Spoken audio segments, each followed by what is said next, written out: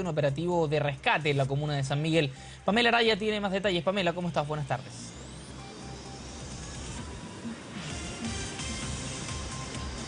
Buenas tardes, eh, Gastón. Sí, un hecho que se produjo durante esta madrugada, pero eh, nosotros estamos en el lugar donde se produjo este accidente y les contamos de inmediato de qué se trata, eh, porque muy ya temprano, cerca de las cuatro y media de la mañana aproximadamente, y lo vamos a contar de forma cronológica, se produjo un accidente de tránsito, un conductor ebrio impactó a un radio patrulla y de allí resultaron tres carabineros lesionados. Es por ello entonces que llegó hasta acá, hasta Gran Avenida, con la calle Vargas Barton aproximadamente un helicóptero de la prefectura aeropolicial con tres funcionarios en su interior, el piloto, el copiloto y también eh, un eh, oficial paramédico. Dos de ellos, el copiloto eh, con el paramédico, se bajaron a atender a quienes se encontraban heridos en este lugar y además para cortar el tránsito llegó otro furgón de carabineros.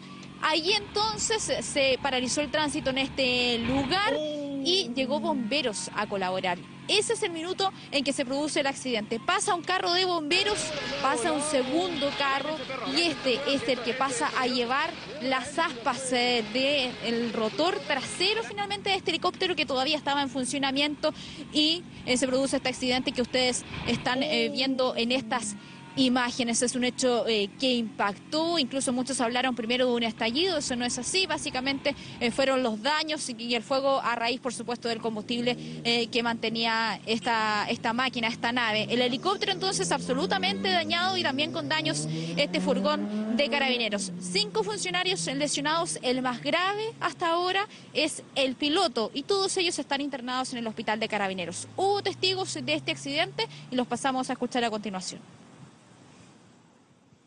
carro bombero por la tercera pista acá en Gran Avenida y al pasar el carro bombero eh, topa lo que es la lo que es la hélice del, helicóptero de carabinero y ahí básicamente empezamos a correr nomás, eh, ayudar, mover el carro para que sacaran al piloto que estaba dentro del, del helicóptero. El helicóptero se posó y pasó el carro bomba que no vio, parece, el, helicóptero y rozó con la, con la asta del, helicóptero. Bueno, también eh, se ha entregado un detalle de lo sucedido en el hospital de Carabineros. Hasta allí llegó el general inspector Cristian Fuensalida, quien es el jefe de zona metropolitana, a visitar eh, a los heridos. Se le ha dicho efectivamente que son cinco los heridos, tres del accidente de tránsito propiamente tal, el piloto del helicóptero y el chofer del furgón que llegó eh, para cortar el tránsito. Les decía, el más grave es quien estaba al mando de este helicóptero, que es el capitán Mario Esperidón, Mario Esperidón, sí, él es el, piloto de la prefectura aeropolicial. Ha dicho en este caso eh, Carabineros eh, que eh, efectivamente el helicóptero estaba en tierra, no iba a despegar y tampoco estaba aterrizando cuando se produjo este accidente. Revisemos de inmediato entonces lo que dijo el general Fuensalida. En lo personal me constituí en el sitio del suceso. Hay evidencia muy clara, independiente de todas las circunstancias concurrentes y que se van a establecer luego de finalizada la investigación, pero esto sí se lo puedo ratificar, que la aeronave estaba posada, estaba parte de la tripulación abajo. O sea, no, no hay ninguna posibilidad que se haya estado gestando o que haya estado en momento de aterrizaje o despegue. La aeronave estaba posada, incluso había un vehículo próximo que le estaba brindando la cobertura para cortar el tránsito, por supuesto. Eh, estas maniobras requieren un apoyo base y eso se estaba haciendo. El sitio del suceso estaba relativamente controlado y accedían al sitio del suceso solamente los vehículos de emergencia. Es así que lo hizo previamente un carro de bomberos y el segundo carro es el que alcanza la aeronave. Hace instantes entonces ha hablado aquí en la comuna de San Miguel eh, la tercera compañía de bomberos respecto a este caso. Ellos dicen que efectivamente acudieron a esta emergencia y pasaron hacia donde estaban los heridos eh, luego de una autorización eh, de carabineros, de lo contrario no lo hubieran hecho. Revisemos de inmediato entonces parte de esas palabras. Ese vehículo hace la misma maniobra, se detiene, es autorizado por personal de carabineros a que transite, digamos, por ese lugar y una vez que iba pasando fue alcanzado por una de las aspas del helicóptero. Eh, cabe destacar que todo este eh, evento, toda esta situación es un, accidente el cual lamentamos. Afortunadamente por parte de bomberos no hay ninguna persona lesionada, no hay ningún voluntario lesionado.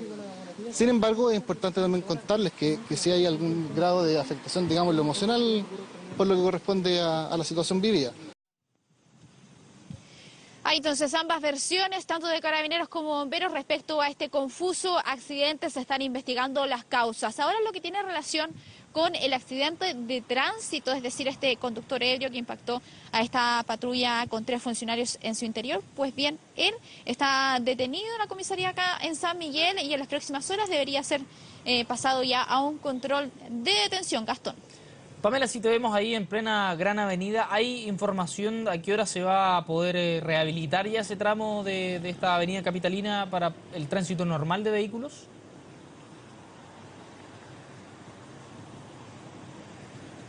Mira Gastón, eso está en evaluación. Lo cierto es que me voy a retirar un poco de cámara para que tú lo puedas ver. Eh, Cristian Rolle le va a mostrar lo que se está haciendo. Se está limpiando el combustible que quedó aquí en este sector. De hecho, se siente muy fuerte el olor a combustible.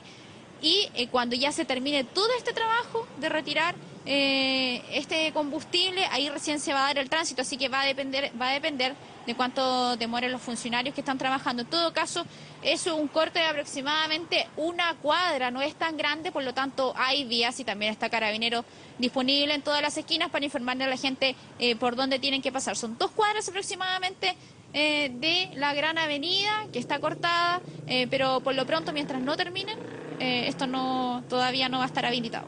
Perfecto, Pamela, muchas gracias por ese informe. Bueno, nosotros tomamos contacto ahora.